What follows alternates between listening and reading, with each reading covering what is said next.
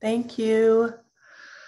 Thank you all for being here. Thank you for wonderful hosts and the volunteers making this possible. Uh, it's really sweet to be with you all. It's been a while because of the holiday, and Chandra and I sometimes go back and forth and uh, give each other um, an evening where we aren't in this kind of practice, doing our own practice. So, yeah, I was really looking forward to being together this evening. I know that last week you all looked at karma and I guess solved all of that. So that's wonderful. Now that we've moved on from karma, we can go ahead and give up all the causes of suffering. So that's uh, the topic for our chapter tonight. And in that, we're really looking at renunciation. And we, we talked about this as well when we were covering the Lojong slogans that we were reading about the last nine months and i think it's it's it's very easy to feel a sense of uncertainty and and maybe even dislike for this idea of renunciation. The word has a really heavy charge to it in our contemporary culture. It seems like something is going to be asked of us that is going to be uncomfortable that's going to require us to give up what we enjoy and what matters so I'm really excited for us to delve into a deeper understanding of renunciation through these beautiful selected quotes. Um, for those of you who may be coming here for the first time tonight, welcome. This is the Well of Being, and we are we are working with this text. So this is on the path to enlightenment, and it's a collection of core teachings by Matthieu Ricard, who's a scholar and a monk, and uh, I would I, I would I would say he's a bodhisattva. Uh, he really dedicates his life to service, and he has organized just these beautiful selection of inspiring texts to him on the quintessential teachings. So that's that's where we are. And this evening we'll start off with a meditation as we normally do, and then we will look at this text this evening, especially, Matthieu is bringing forth such an interesting tradition in these teachings, especially in Tibetan Buddhism, of recounting teachings as poems. When recounting teachings as almost these kind of um, these aspirational prayers that are said out loud. And there's a couple of those that we might look at this evening as well and kind of get the flavor of what are these heartfelt prayers around renunciation what is the goal? What are they trying to instruct us? So i i think it's going to be a rich evening and i look forward to discussion and questions as well. And yeah just a reminder that the san francisco dharma collective is a completely volunteer run organization. So this is one where we really value each of you who are attending tonight. You are part of our collective and it really matters to us to have a collective where we are working of course on our own material, trying to wake up and liberate ourselves from destructive habits and emotions, and that we're doing so for the sake of all beings. So when we come together and, and do that as community, it's of utmost importance to really hold each other in, in reverence, to hold the space and time together in reverence. So I invite you in uh, the course of this evening, if you are listening and engaging with others, to do so with compassion hear what others are saying and really take it in with this compassionate listening. And as you're speaking, engage in that same way compassionate speech, considering what you're offering and hoping and aspiring for it to be of benefit and for it to be, at the very least, non harming. So that's our collective intentions and aspirations here to really hold each other with that goal of how can we, of course, uh, start working our hearts and minds further for the benefit of all beings and doing so in a way that's caring and considerate to one another. So, with that, I will invite you to find a posture that will support you for our practice. It can be very helpful to invite an upright spine. For many of us, there's a lot of sitting these days if we are doing work remotely. So see if there's a different way you can hold your seated posture. Maybe you're in the same seat or in the same room, but what can you do to signal to your body that this is actually a different posture? This is one of really deeply going inward.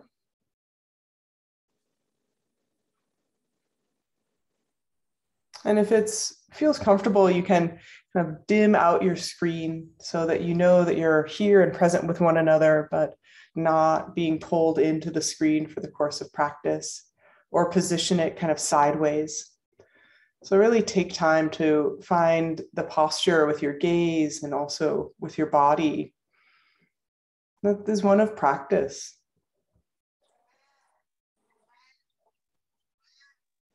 Well, it's definitely cheaper to buy the blueberries. No problem. Just a reminder that we should mute ourselves, or you will be muted. No problem. And before we begin, let's just take a minute to really take in the space around us. For many of us, it's a very familiar room, but we can still allow our gaze and head to look to the left, it's kind of taking in our space around us and gazing to the other side, gazing above, and gazing into our own lap. And if it's comfortable, gently closing the eyes, having this sense of real place and presence.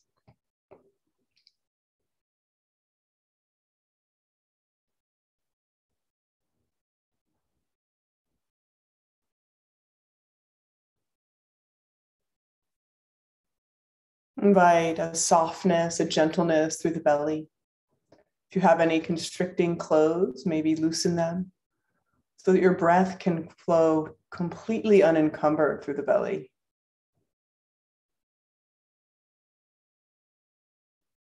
Find a placement for your hands that allows your shoulders to not feel strained. So that could be kind of cupped together in your lap or laying flatly on your thighs.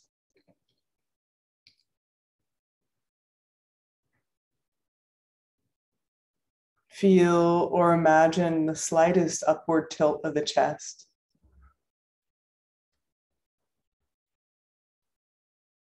As though the heart is open and receiving upwards.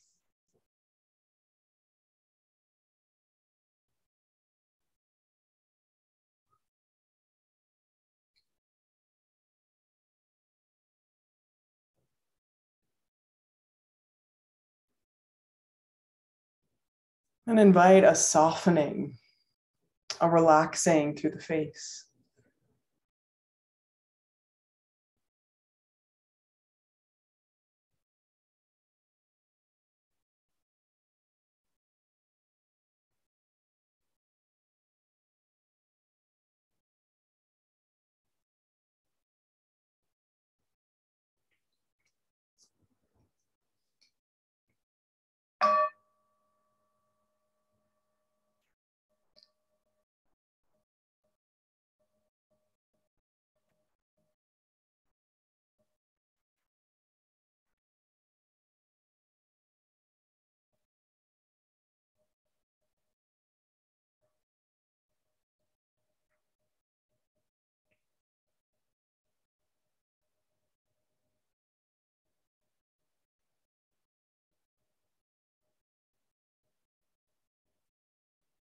Spend a moment or two here, continuing to notice and connect with sensations through the face. With gentle curiosity, start exploring areas of sensation, maybe tingling or heaviness.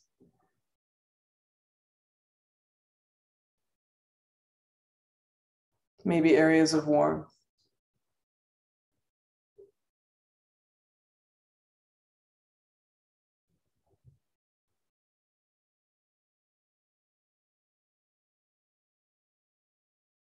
So much of our communication with the world is happening through our face, receiving through the eyes, extending with our words, and expressing through these 42 muscle groups our feelings or holding them back with those same muscles.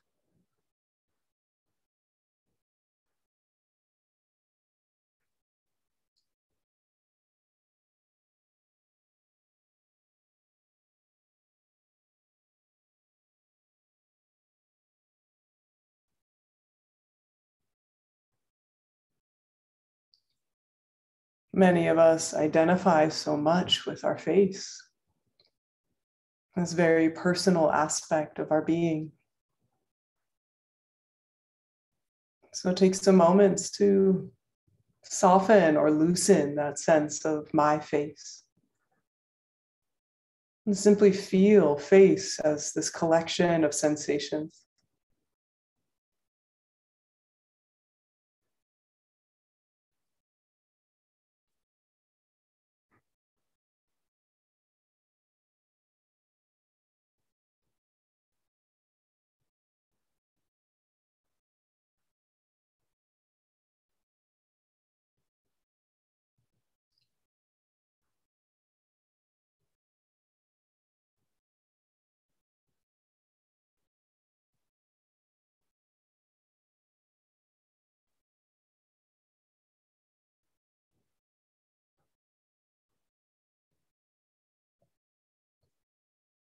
Inviting a softening with the exhales at the forehead and through the eyes. Softening through the cheekbones and the jaw.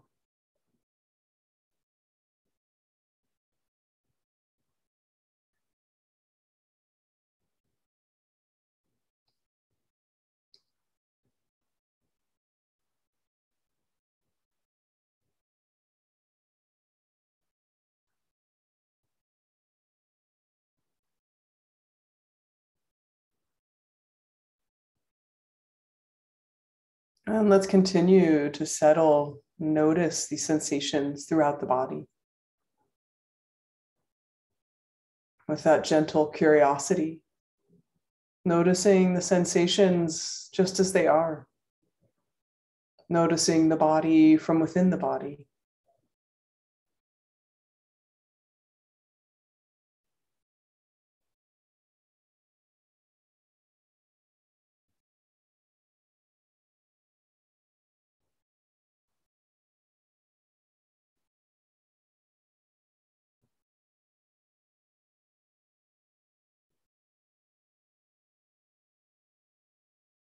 Of course, the mind will wander. No problem. Keep relaxing and releasing and returning to settling the body in a natural state.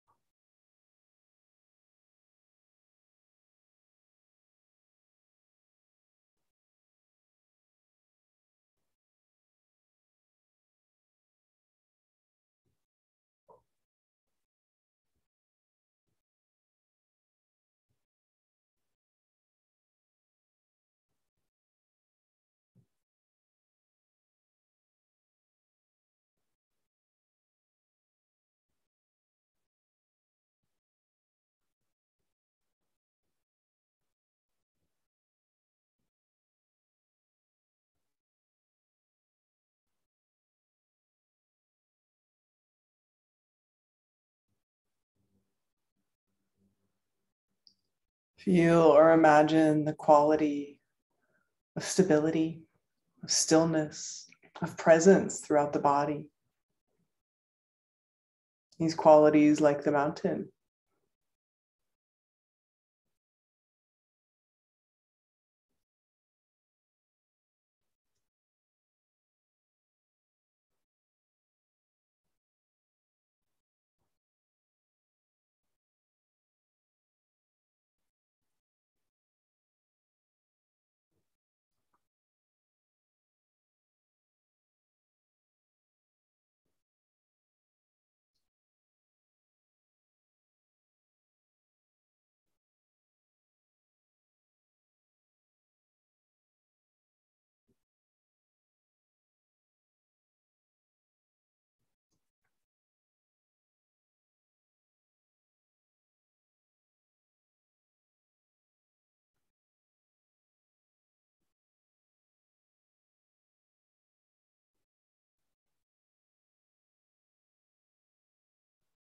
And to support us in settling our inner speech, that narration and dialogue that will inevitably keep coming.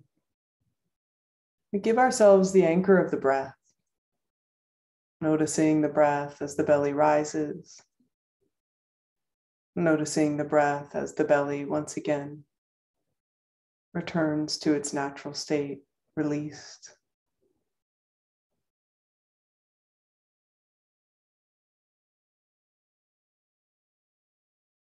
So, slightly narrowing the focus from the entire body to the breath at the abdomen with the intention to start settling this inner dialogue and speech as though turning the volume down.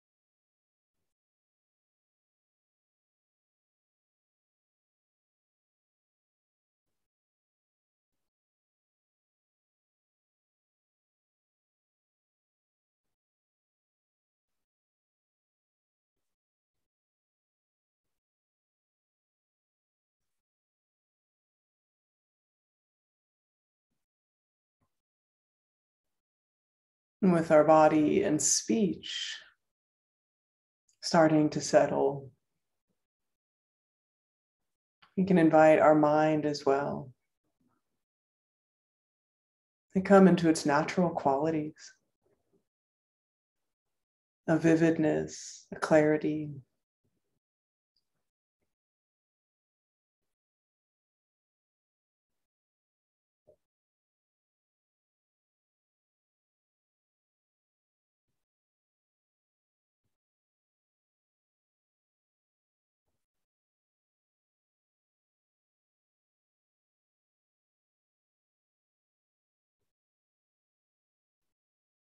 checking in that the muscles in the face are still relaxed and inviting that softening, that pliancy through the body.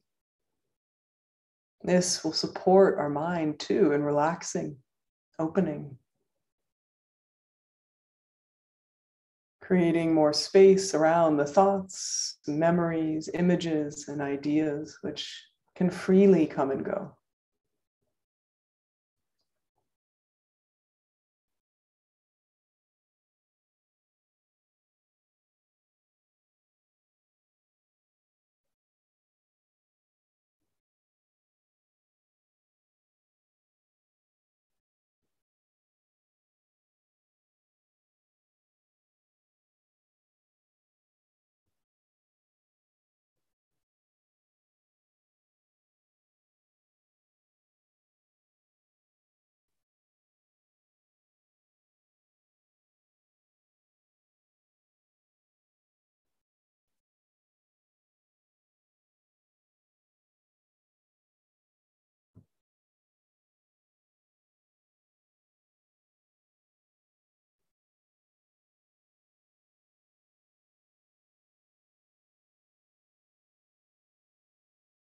And let's take a moment here to connect with an intention for this practice, for our time together. Our intention is our guiding light, reminding us what matters to us. It can be so simple. It can be a simple word kindness, openness, healing. It can be a phrase, something we want to bear in mind as the purpose of our practice time. To find peace of mind, to feel connected. So consider an intention that really meets you meets what you've noticed in your body, speech, and mind.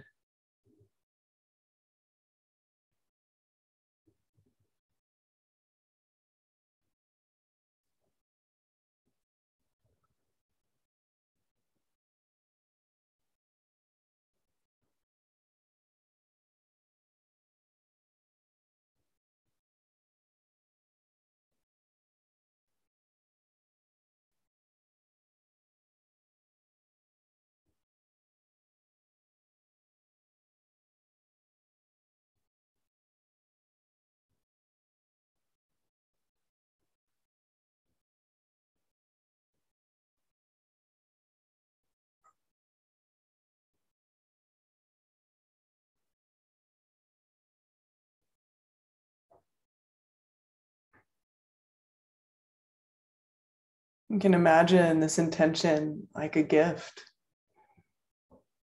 a gift for yourself and to all the ways you will engage this intention through others in the world.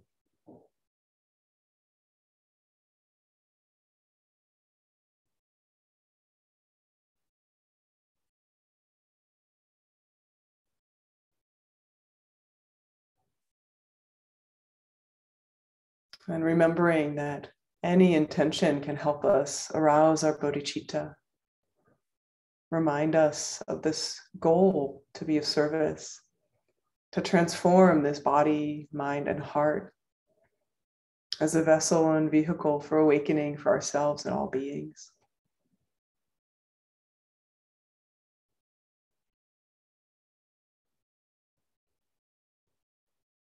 That can sound intimidating. But it gives us the dignity to persevere through the practice, which sometimes can be enjoyable and often can be challenging.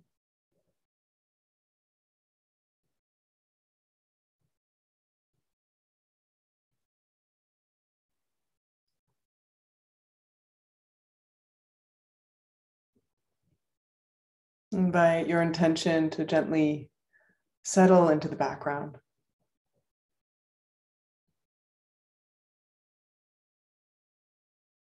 And we'll come back to a gentle focus on the body.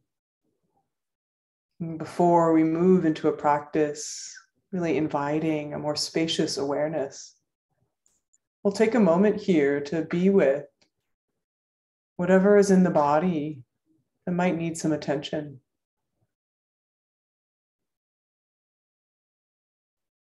Our body, we hold here the residue of our emotions, our stress.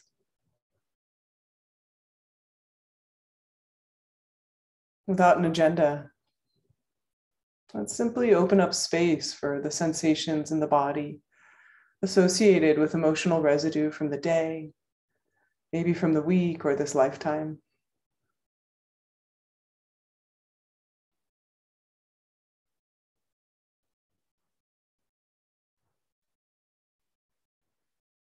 So, dropping anything other than a desire to make space around felt sensations in the body, especially those that may relate to feelings of difficulty, maybe conflict with someone we are close to, maybe disappointment or loss. Giving ourselves a moment here to just connect and open up make space with what's here in the body right now.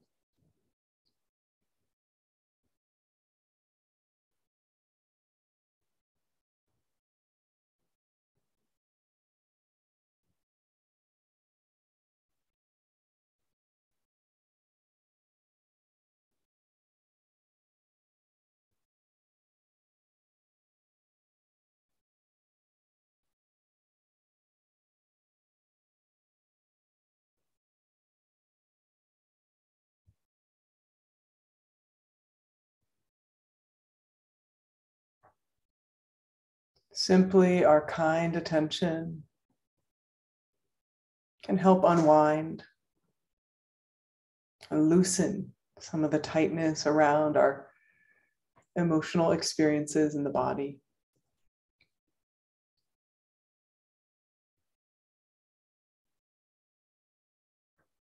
Making space can mean moving our experience from the relative, the personal, to the ultimate, and expansiveness around our day to day emotional content.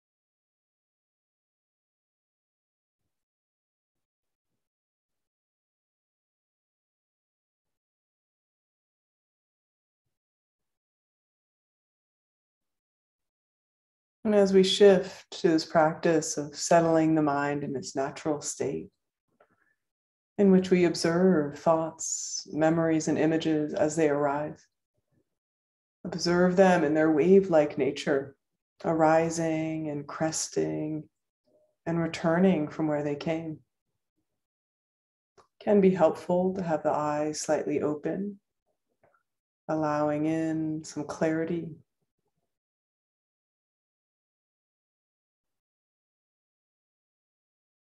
But let the gaze be softly focused.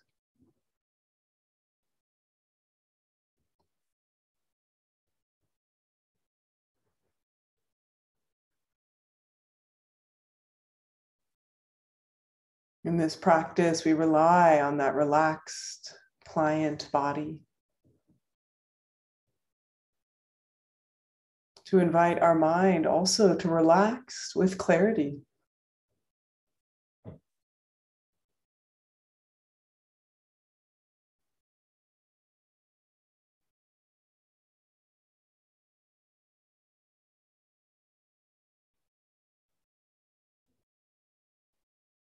To settle the mind is to allow the thoughts and memories and images to come and go freely.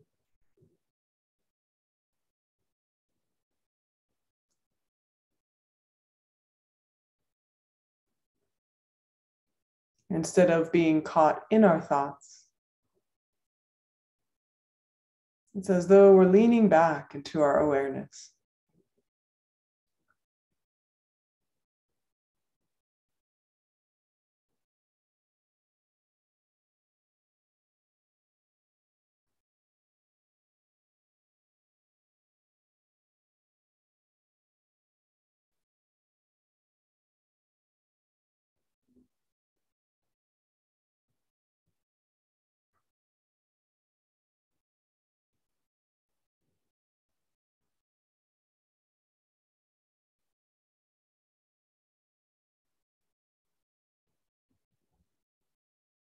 Maybe the thoughts feel very busy, a constant flow. No problem. Keep relaxing, leaning back. Maybe there's a feeling of spaced out or dull. Not a problem. Lean back, but invite that sense of clarity.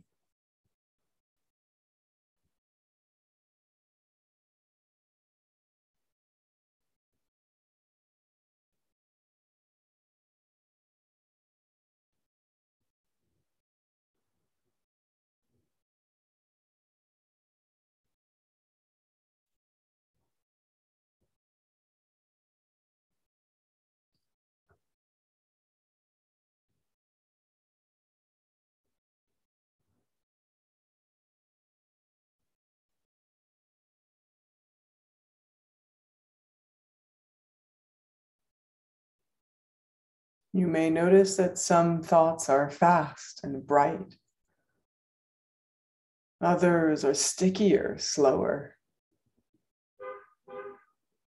Without engaging in the content of thoughts, be curious about the form of thoughts, memories, images. Some have words, narratives. Some may just be colors, shapes, images.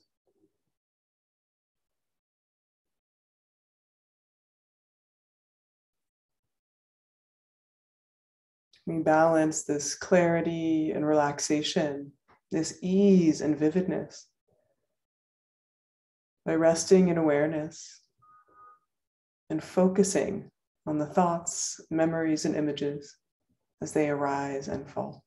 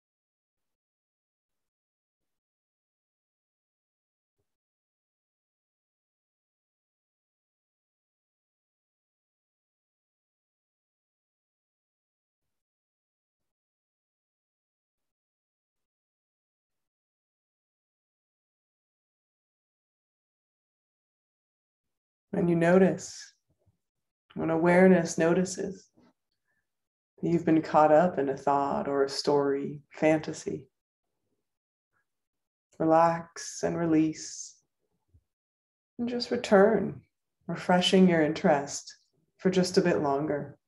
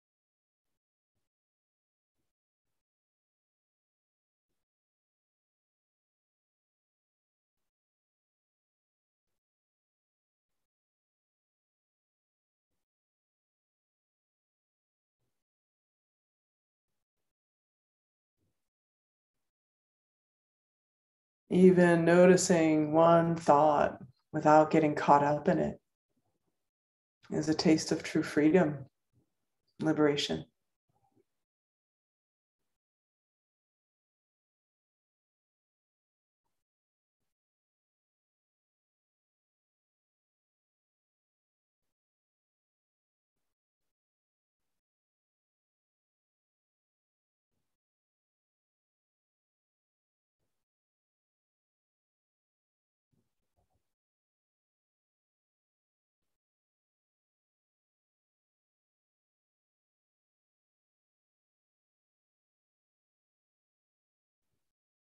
No need to be judgmental of the thoughts or the contents of the mind whatsoever. Just keep leaning back and finding the spaciousness of awareness in which anything can arise. And just like a firework, illuminate the space of our mind and disappear.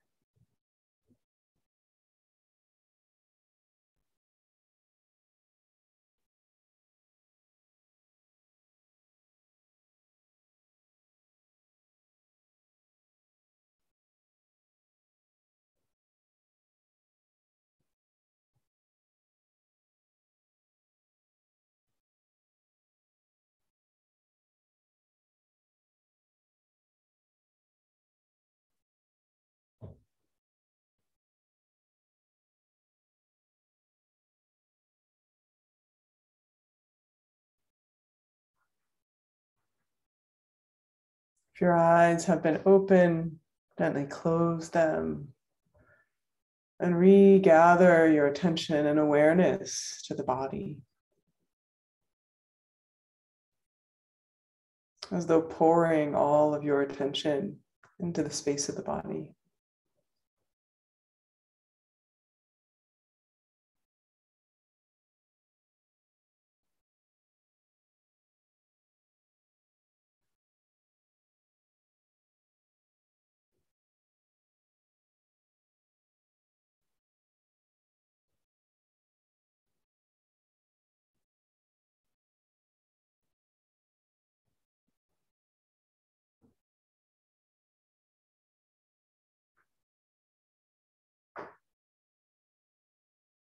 Taking a moment to feel the preciousness of this human body.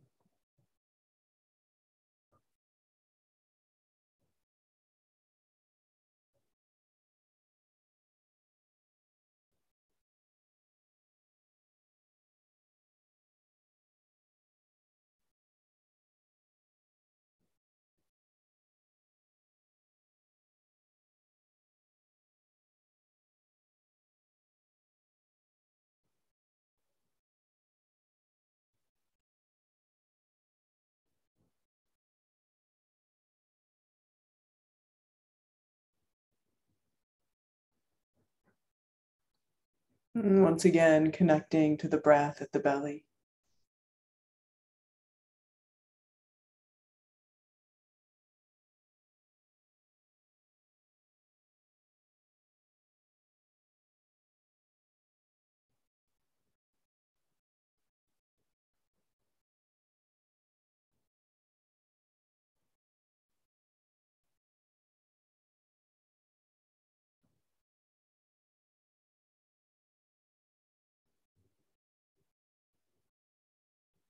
In a moment, I'll ring the bell.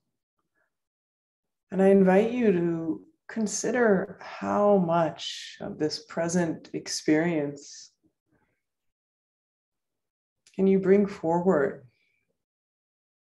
into our group time and space together, bridging the meditation and post meditation, the sense of embodiment, presence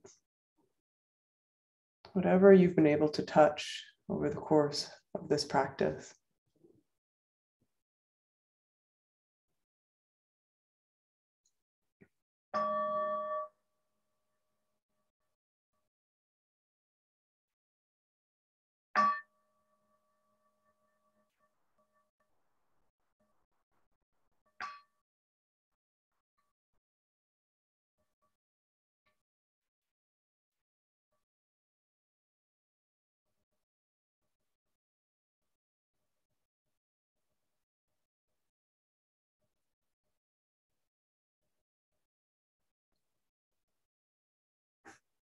Thank you for your practice.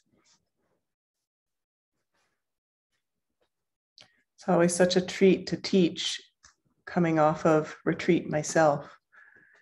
We uh, feel the gratitude of receiving teachings and then being able to share them with you all. Any reflections or questions on practice? You can raise your hand or put them in chat. We did a bit of a medley there. The goal was settling the mind in its natural state, as, as we often practice together. Um, but I gave us a little time to ramp up, to be with the body, and to be with maybe the material, especially emotionally in the body. Yeah, I would love to hear from folks. Um, any questions or even reflections on that? Moving from that embodied presence, working with the emotional material to that more spacious state of mind.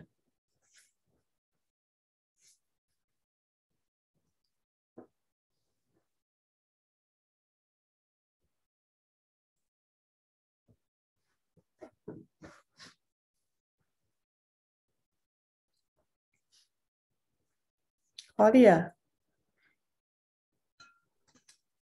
Eve, um, settling the body felt wonderful, really relaxed because was able to sense some sensations and soreness and but lately I've been having a real hard time settling my mind like thoughts keep on coming, you know, and I try to come back to the breath and pretty soon it's again. So any suggestions? Yeah. Are what are they like? The thoughts, not the content, but are they fast or are they like how how are they? Well, usually like to do either you know future or past. Yeah. Kind of thing. Yeah. Yeah. Really being uh, having a hard time staying in the present and really just just being present. Yeah. Yeah. I mean, I there's so many amazing techniques that people try, and maybe one of them will work. Uh, but a, a, couple ideas um, that that I have found useful actually, when especially when the mind feels especially active, it could be so many reasons. It could be our diet. It could be you know what's going on in our life. It could be just other um, states internally that are shifting and moving. Um, when I'm finding it really difficult to not um, get caught up in thought, I'll actually do a sitting practice and a walking practice together, meaning I will just walk here for five minutes and sit for five minutes, and then walk for five minutes and then sit for five minutes. And just that kind of that slight difference. And I think, of course, for many of us um, in the body, uh, it can really it can help us focus, especially if we're doing walking practice. So that when we sit, there's a little bit of that kind of momentum of having the body in the mind, having the mind in the body. um, and I, so I think that's one nice way to do it. And another with both the walking and the sitting, has you have you ever done counting, Claudia? Have you ever kind of really done that practice? Sometimes, yes. It's really useful it it seems like you know kindergarten or something like it's so basic but it's really useful practice and it can really help us um, again kind of get the mind into the groove of being in one place it's it's a you know i think for some of us um, at certain times it's just a habit maybe our whole day is filled with thinking in a certain way and just really hard to get out of that um, counting, especially if we're really specific on the counting, you know, like only at the top of the inhale. Some people like it at the top of the or bottom of the exhale, but one, you know, just one. And just going to 10, really hard to get to 10, probably have to start over. But it's it is a way to kind of um, you know, Shanti Deva uses that beautiful um, illustration of kind of mindfulness being like a rope around the wild elephant of your mind. So it's it's a good rope, the counting kind of kind of helps tether in a bit. So yeah, try try either of those and let me know how that goes. Okay. Thank you. Yes, thank you. Leanne, I see your hand raised. Yes, I'm in the dark. um, which I don't mind. Um, I'd like to share an insight, if I can, that came to me during the practice. Um, it, this is going to sound like, um, well, just stay with me. It's relevant. so I, um, I just very recently started sort of seeing someone, and um, it's like very, very, very new. And so I'm very aware of, how, and it's like like very new, you know? And so it's, I'm like aware of all of the being flooded with all of these, what endorphin sensation, whatever. And of course, I'm also deal have baggage and pain. So really negotiating like let's not feel that you know let's like just sort of shut it down. Let's just stay cool. And i realized during practice that like at this stage it's really not about this person. It's it's that mm-hmm. they're there's suddenly an object for love and affection and that that's and i sort of had that insight and thought oh well if that's what I really want to feel. Like that's what a metta practice is, and that I don't need to be forcing it on a person. And you know, it's it can also go organically and, and may develop, but that yeah, like really kind of leaning into that universality and um, mm. And that that's something that's available when there is or is not a, a person to go and to receive it.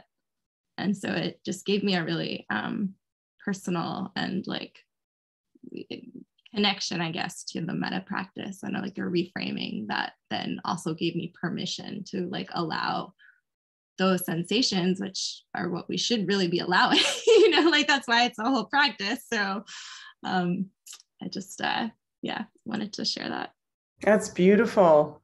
Yeah i i, uh, I feel a great deal of empathetic joy just hearing that honestly. It's just it's lovely to have that insight in the in the yeah i, I was i was really um remembering and recalling exactly the feelings you're describing of that um, anticipation, excitement, anxiety, dread, re-traumatizing, suffering.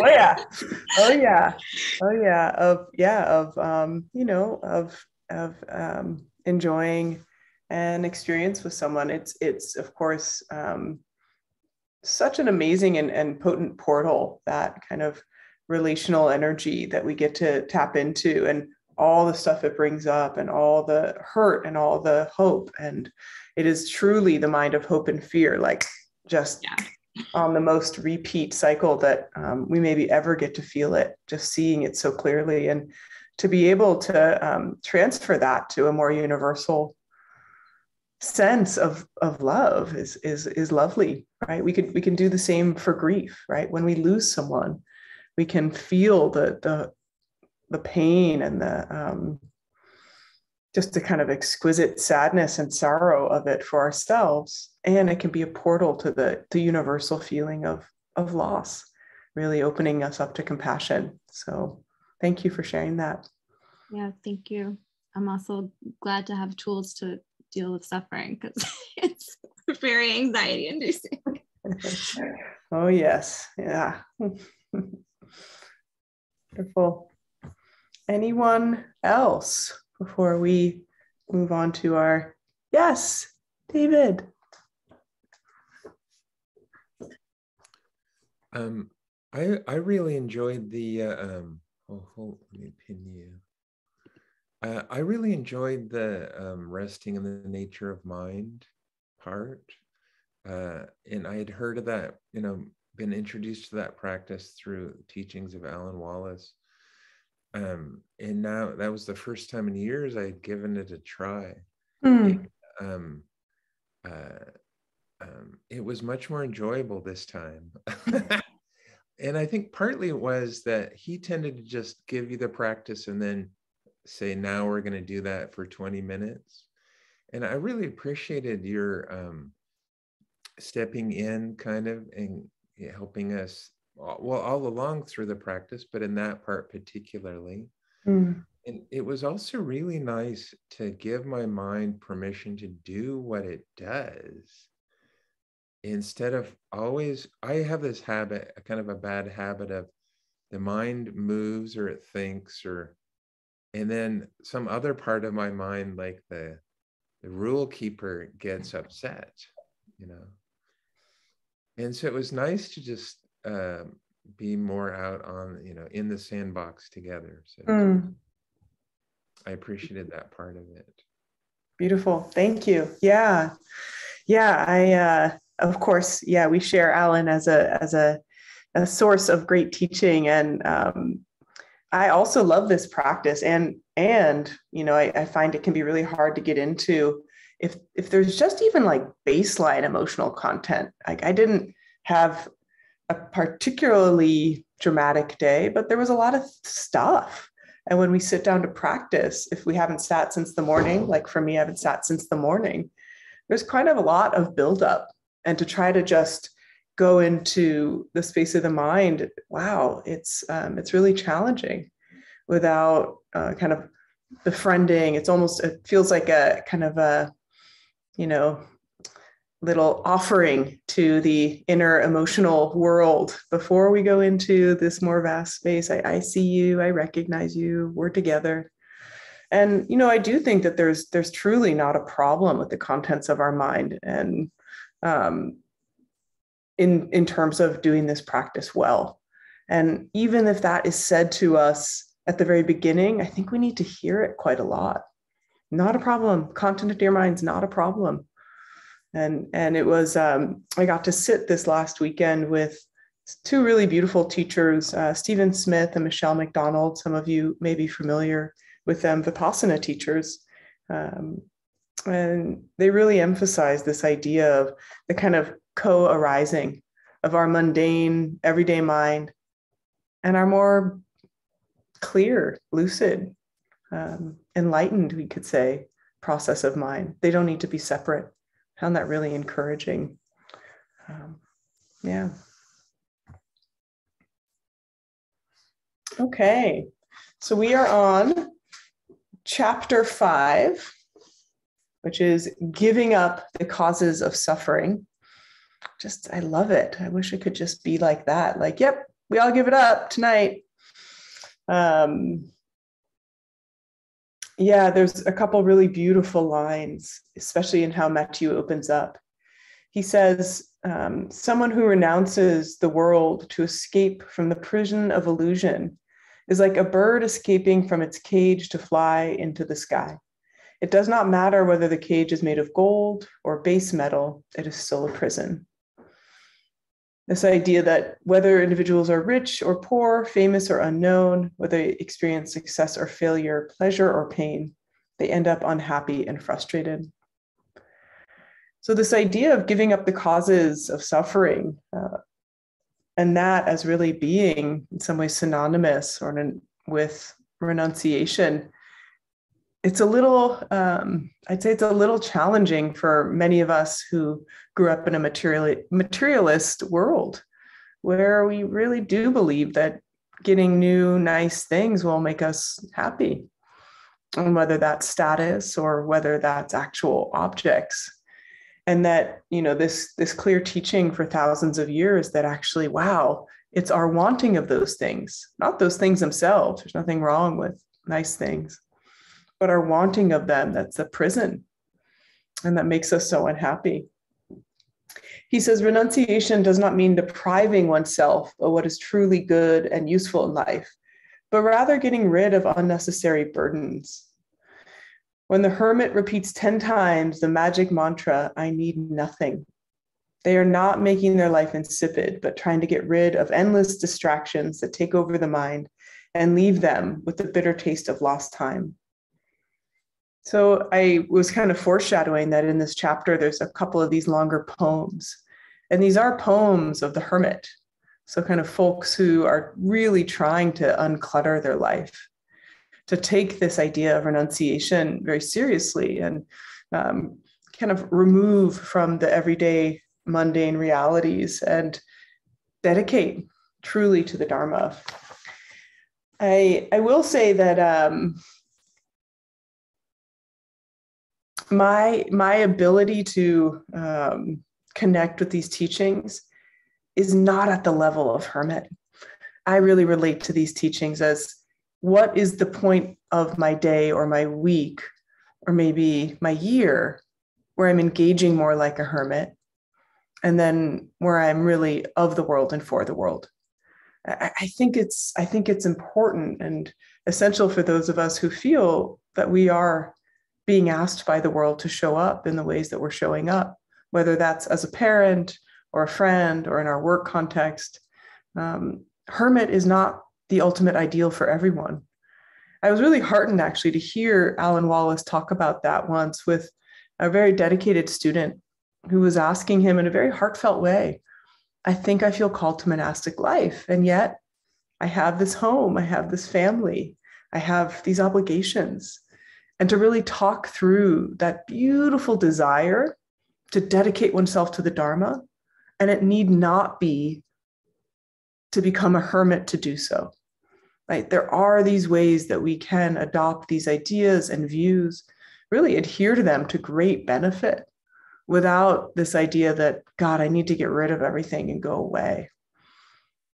It's interesting because because we can, you know, kind of now in this remote world, we can kind of go away from from you know maybe more dense urban living environments. Um, and yet for many of us you know that that doesn't necessarily relieve us of responsibilities um, or relieve relieve us of these mindsets.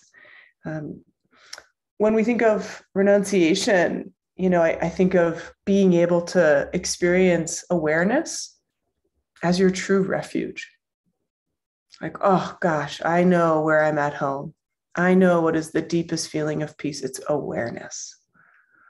Like that to me is a is a kind of um, almost a natural renunciation when we find that sense of peace in our own mind. Um, so there's a a passage here by uh, His Holiness the Dalai Lama, the current one, the 14th.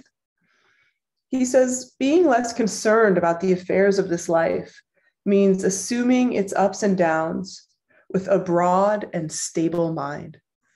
I really liked that idea that it's not getting rid of, again, ups and downs. It's not necessarily going to that hermit cave, but to have a broad and stable mind. When something is broad and stable, it can really withstand a lot of the ups and downs. And it's interesting because, you know, we think of stability, uh, we think of spacious awareness, but for some reason for me, it brings to mind like, you know, a stand up paddleboard, like a very wide surface on the water. If you have a very narrow surface on the water, almost anything can tip it over. It's really easy. But the wider you have of this board, the easier it is to have that balance on it. Um, so I, I appreciated that instruction or that kind of image. There's a another part here by Dilgo Khyentse Rinpoche, uh, which I, I think is quite lovely, um, really reminding us that no one is ever satisfied with their wealth or power. That would be too easy. Although the modern world has reached an unimaginable level of development in science and technology, there is no machine and no trick to end suffering and produce happiness. We must first realize the true cause of suffering is not outside, but inside. We suffer because of all sorts of negative emotions, such as attachment, anger, repulsion, pride, jealousy, confusion. Those emotions are real mental poisons and based in a wrong way of understanding and lead only to suffering. This is why the true spiritual practice consists of working with one's own mind. So there's a, a couple points here. it's really interesting because they're pointing out essentially partially this hedonic treadmill. So some of you may be familiar with this term that is used in contemporary psychological research of happiness. And the reason that we do have this sense of um, uh, kind of dissatisfaction, kind of at baseline, is that we adapt to what we like very quickly. So, for example, uh, what do I have here? I have have this nice crystal. It's really beautiful. It's kind of jade and amethyst. And you know, when this crystal first came into my life, I probably noticed it a lot more. Just so beautiful, my gosh! And you know when i when i first um, purchased it it was just oh wow i want to put this on my altar it's going to be such a beautiful thing. Days weeks months later it just fades into the background right? We just adapt so quickly to that which is a pleasure from the outside. And it's it's a really interesting kind of facet of our human mind then not only do we adapt to things quickly, but we really want more. like we really, there's a there's a seeking, right? We have this kind of hedonic pull towards that which feels good through our sensory um, experiences, that which tastes good, that which feels good, that which looks good, that which sounds good. But we so quickly kind of adapt to it and then want something different so that's that treadmill experience. And uh, it describes here, right, that there is no machine, no trick to end suffering and produce happiness. It's kind of incredible, right? All of our innovations, however many stories high the Salesforce building is, right? Really impressive feat of architecture. But we actually don't have a way to make people happy through a machine, through a product. It is still an inside job. And that's so humbling. Um, such an interesting um, aspect of this human life that if it certainly was that we just reached some level of material attainment and we're happy, be a very different world that we lived in. And it may seem that way at times, but of course, uh, it is. It's not true. Um, and pointing out here this idea that the suffering, you know, is our own suffering. The suffering is our internal experience of our emotions, and as many of you know, I, I really feel so, so um, passionate about working with our emotions on the, on the path of the Dharma, how important it is that we really um, understand, develop awareness, and try to transform our difficult emotions. The emotions that are described here really, you know, attachment, anger, repulsion, pride, jealousy, and confusion. These are almost kind of habits, not just something we feel one day as a result of an experience, but a way that we are interacting with the world. Some, some teachers say that we, all of us, have a certain type, like, oh, I'm an attached type or I'm an aversive type, right? Um, so some of these may be stronger for some of us than others. This idea of just wanting to get away from things, jealousy, right? That so well facilitated by contemporary social media and seeing others, and confusion, just not knowing. And I think this idea that you know our our entire practice is working with our own mind, just really um, so simple, and yet um, that is the essence of this renunciation giving up all these other ways and hopes, all these other tools and strategies that we think are going to bring us to that sense of, of freedom and of happiness. The last part of that passage is through meditating over and over again on the nature of mind, one can gradually dissolve ego clinging. Among all the methods to achieve that result, the most profound is the meditation on bodhicitta, love and compassion to be full of love for all sentient beings and consider others more important than oneself is the very root of the Dharma. A just really beautiful connection here that as we're working with our mind, practices to, of course, um, find that spaciousness we are exploring in the meditation, and that another way to just naturally open our mind, start to liberate ourselves from these encumbered self you could almost say self-imposed suffering of our difficult emotions is our just true love for others. And not that uh, o- avoiding our own difficulty by caring for others too much love but a real heartfelt aspiration to care for others that that is a such a deep well and source of our of our happiness and if we are renouncing something we are then making space for something else to be more present and making more space to be more present with that that natural beauty that kind of compassion which is always there uh, that we don't really need to um, fabricate in any way there's another beautiful um, quote here by Shabkar. Says, How does ignorance manifest? If one night you pass by a coiled rope on the ground in the dark, you might think it is a snake curled up and be so terrified your heart races.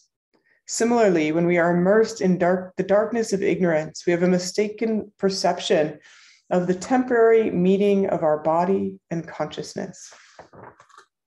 Unable to clearly discern its true nature, we take it as an I. That I, in fact, has no reality. And then we create a distinction between I and others. We are attached to one and reject the others. Based on this double process of attraction and repulsion, all other mental poisons arise. And under their influence, we take birth in the various higher and lower worlds of samsara, which we do a mixture of beneficial and harmful deeds with unfortunate consequences. So, this real kind of simple distillation that the essence of so much of our suffering is this wrong seeing, this inaccurate view of being a self. I understand it better in, in the words of um, of my teacher Jennifer Welwood. She she talks about it as uh, our kind of obsession with the identity project. So not just um, not this this idea of you know um, thinking that I am a solid self. That that one I find at times can be hard to understand when every day I have to wake up and be Eve and respond to my name and do my work in the world and remember who I am and what I need to do. So when I think about this identity project of Eve and kind of how, what it takes to maintain that, kind of perpetuating it and sustaining it and protecting it, that I can see creates a lot of suffering. That I can see creates a lot of just like kind of fabricated sense of um, value and importance. So, a lot of this chapter on renunciation brings us back to this very same kind of core of how do we loosen a bit of these kind of strong holding ties that we have to our sense of self, to our identity project? If we do so, it's it's almost like this um, this key that can unlock various levels all at once.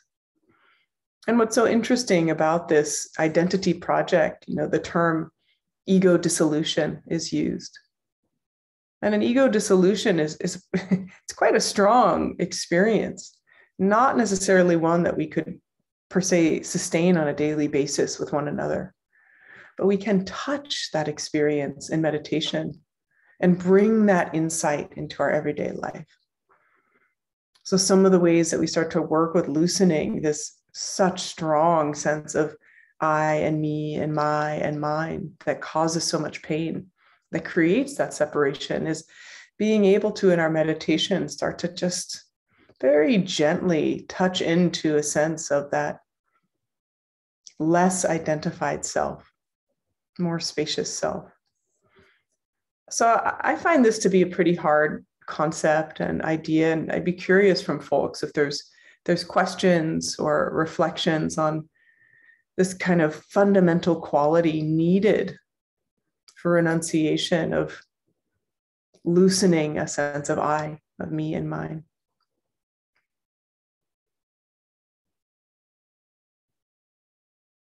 Yes. Um, yeah, one thing that came to mind as you were talking about that like identity project, um, I thought about like a, a company and like branding. And it like struck me i'm like that identity project is kind of like am i like maintaining my brand? You know? It's like how do i look to other people? Like you know it comes up for me a lot at work. It's like i want to be seen as competent and i want to be in the room where decisions are being made you know there's a lot of that that comes up for me there um and so it's like when you were talking about like still needing to like show up as ourselves each day it's like am i doing that and then also like carrying this burden of like maintaining my brand while I'm doing it all? Or am I just doing it? Am I just cleaning my room because it needs to be clean? You know, like, mm. um, yeah, it just feels like a big kind of like rock to carry along with just living my life. Yeah. Yeah, I, I really resonate with that um, experience in in in like professional realms of wanting to be seen, wanting to be good, wanting to be, you know, um, and it it creates this um, kind of need for strategy almost and positioning and like that, you know, like here I am and here they are and where am I? And I, I think it's, I mean, maybe needless to say, it's fine, right? I think again, a lot of this is around um, a lot of this invitation to renunciation isn't stop going to work and stop caring what people think. It's um, how can we hold it? You know, we, if we hold it like with that tight fist, if it creates worry and rumination that wakes us up at night, if it makes us, you know, kind of perpetually seeking these sources of relief that won't help us, that's a problem, right? But if we come down after our day at work and seek that inner refuge and look for awareness as a refuge, I think that that um, it will naturally kind of undo a bit of the working of that identity project. And then, of course, you know, in-depth psychotherapy, you know, never hurts, right? But when we talk about the Dharma and, you know, like at least loosening um, this, and, and I, it's interesting because I think there's a direct relationship to this desire to be um, kind of engaged in the world. And so then we are, all of our, our attention goes up and out. And then we're seeking a kind of reward from the world too and we forget to seek that reward internally. So it's it can be very hard to kind of live in both worlds. This world where we really feel filled uh, with this sense of um, intrinsic joy. And then where we're also wanting to engage with the rewards of kind of material relative reality because they are real too. And i think it is it's a it's an interesting and, and difficult position, you know, being a practitioner in the world and, and really holding these ideas close. Yeah. Do you have any any ways that you kind of um, reconnect or refill after a day that feels kind of pulling you away? Yeah, um, I mean, I, I guess I kind of struggle with that sometimes, but definitely for me, kind of like running energy, like exercise or going out for a walk, even just like yeah, feeling fresh air on my skin after being inside all day. Yeah, you know, like that'll all kind of really pull me out. Yeah, beautiful. Yeah, and I think right, you know, um, happily we we get to live in these human bodies, and they are such a great resource to us. And and especially you know if we can tune tune in to that subtle body experience where we can sense the um it, it doesn't have to be verbal. It doesn't have to be wow i had this difficult experience with this person. Just like oh there's like that layer of ache right here or there's that tightness there. And we know it to be not just physical pain not just muscle pain but we know that the imprint of our emotions are is in our body living in our body. And we can be gentle with that but attuned to it. So as we're moving with our body through the world I, I i'm a huge proponent of exercise. I love it. I'm a big fan. It's i can't imagine i would have any sort of mental health without it. And i think sometimes it can also separate us from our deeper being um, it can kind of um, pull us into something outward. So it's it's nice to have a, a, combination of bodily practices that really help cultivate, you know, those inner states, and then the body practices that help us release energy too. Thank you. I see a question here from uh, Heidi. Is equanimity an important concept in this? Equanimity is an important concept in everything. Um, and yeah, you know, I think it's interesting, you know, with renunciation and this idea of kind of giving up the causes of suffering. It's it's both part of how we are able to identify what will support us and also part of the fruition to feel equanimity is to really have this sense of, of clear seeing of impartiality, being able to love all without a desire for, you know, return or some sort of um, reciprocity. So I think to have that equanimity of, um, you know, really being able to love love um, fully, and also have that sense of not getting dragged down and pulled in to this personal material. Um, it's essential but it's interesting question like can equin will equanimity help us with this softening of I, me, and mine. It, absolutely, yeah. This sense of um, interconnection, I would say, interdependence as well. You know, I think again, such a big concept, this idea of trying to unhook ourselves from a fixed identity. It can be really helpful to just have that sense of communal, collect, collective presence and care, this interdependence. When we feel really separate, when we feel really alone, it's just so much harder to be in this world when we have a sense of like shared collective um, presence, it's much easier.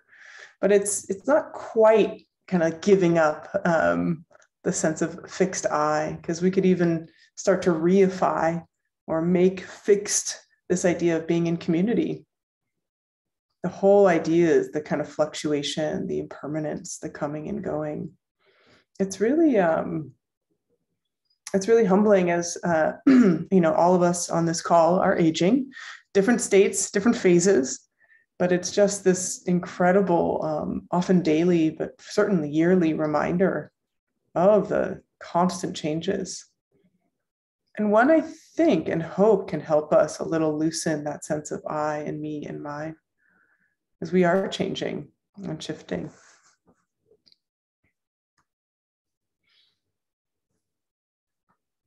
Okay, I see from Leanne. This is helpful as I applied for a job and I'm attending a conference with the person hiring this weekend. How to stay centered and authentic without getting caught up in strategy. Yes. Um,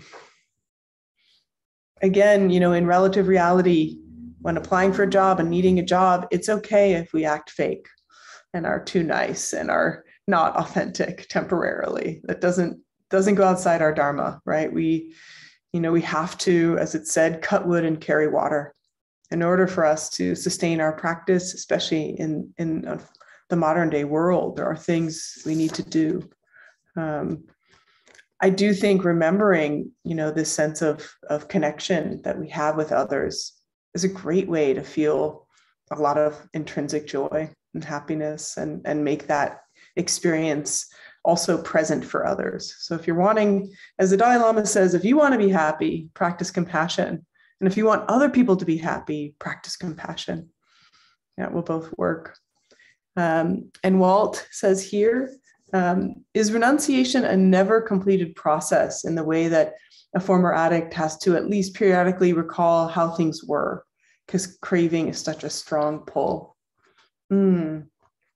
Yeah, yes, I mean, I just, I think about that. Um, yeah, I think it, it's so interesting thinking of renunciation in 2021 in the Bay Area and and and beyond, and just you know this. We live in a world where there's so much access to material goods, and whether you have a little or a lot, you can kind of buy a lot of things. It's unprecedented. Tsoknyi Rinpoche, um, I'm sure I've shared this before, but he is fond of saying that in kind of contemporary modern culture, samsara almost works. Like we can almost fulfill desires incessantly and feel satisfied.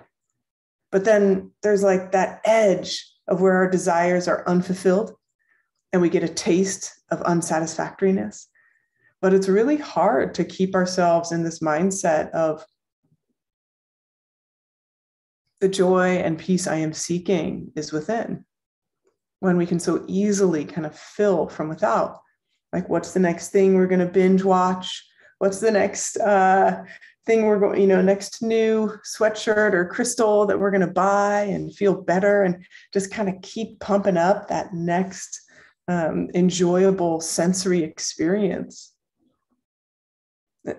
It's just it's it's incredible how much we can do it. And of course we see the cost and consequence of it at our global climate level. But it is something that um, i think more than in, in previous generations we samsara almost works right it, it's almost we can almost keep ourselves fully occupied and almost feel satisfied with just trying to maintain our material well being. and reaching better and better forms of it. So yeah, I love that um, that insight. Uh, another great way, as uh, as we have actually we've we've played upon quite a lot here in this sangha over the last months of um, another great way to to help guide us towards the renunciation, uh, as shared by Drigung Jigten Gonpo. When we look at death and the impermanence of all things, our ordinary projects are just a joke. How can you believe in the eight worldly preoccupations, which are as transient as the colors of the rainbow?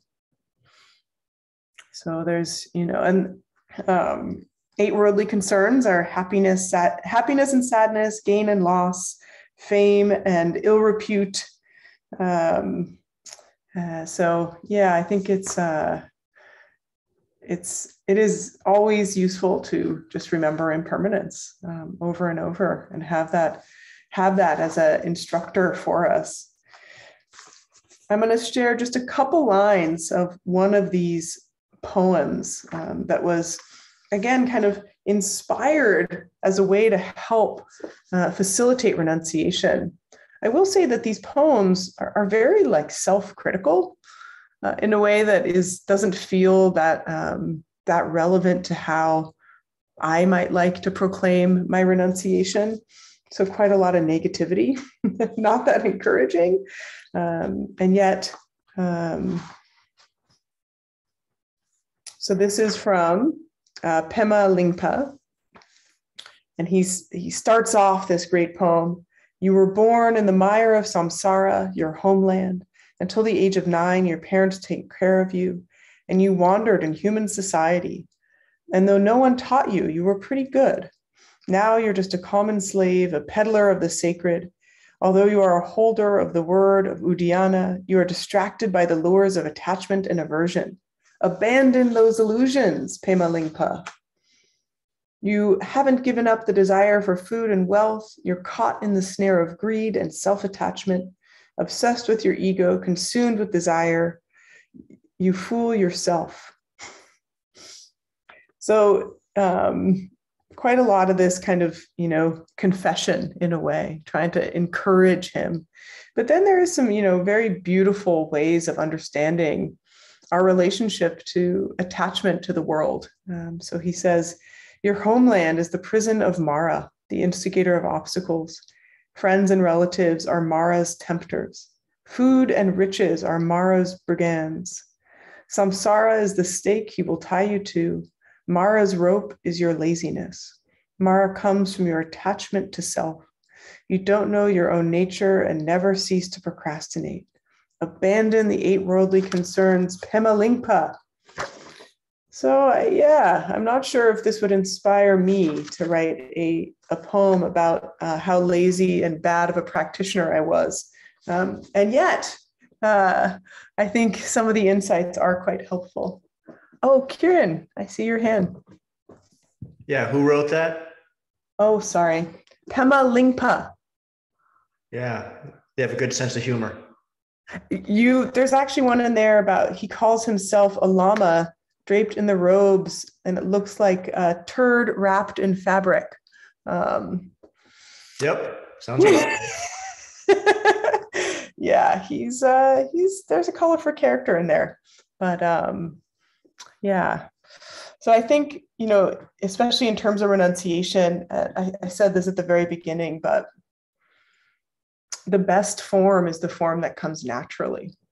When there's a desire and and you know just either a sense of i'm just so done with buying stuff. It doesn't make me happy.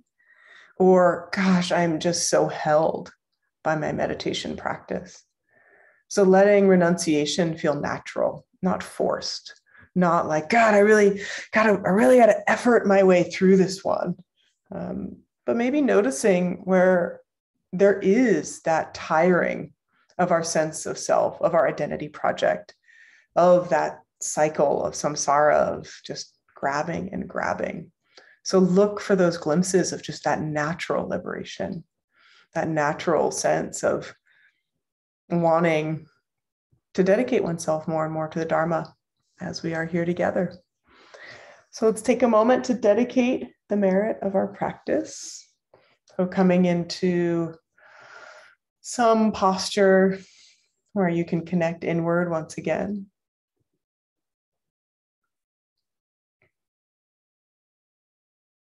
And checking in with the body.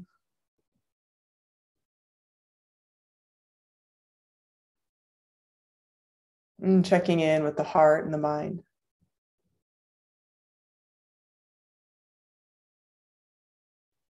And considering the possibility that something in this body, heart, and mind has been transformed or worked with this evening.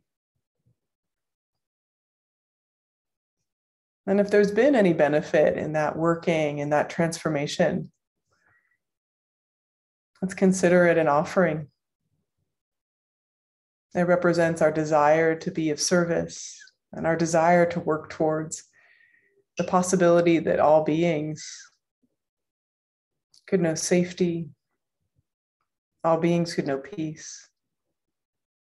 All beings could experience the true causes of happiness. And all beings could be free.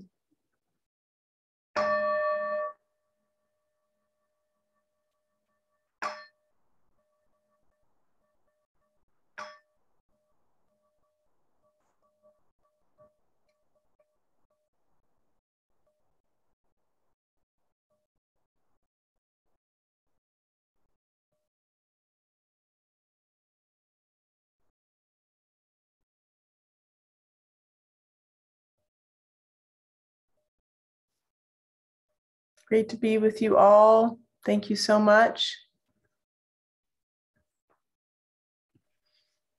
Thank you. Thank you, Eve. you. Thank you, everyone. Hmm. Thank you. Thanks, Eve. Thank you, everyone. Thank you. Thank you. Till next week. Good night, everybody. Yeah. Bye.